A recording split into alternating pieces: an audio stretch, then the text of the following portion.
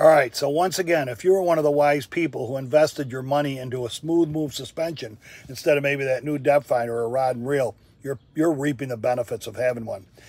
The other demonstration we did was on a smooth move Ultra. This one is a smooth move air. This one is plugged into your cigarette lighter. And when I want to add air, watch this thing. Whoa, it's got a little motor inside.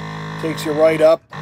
I want to get it set so that I am not going all the way down but when I hit a good wave, it'll take me down. We don't want to bottom out. We want it to suspend us because if it's if you don't have enough air in there, you're going to go all the way down and it's going to be like not having a suspension on your boat.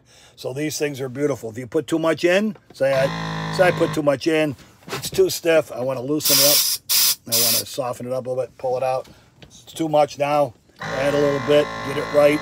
And this baby will hold a heavier person too. So smooth moves, we got your back.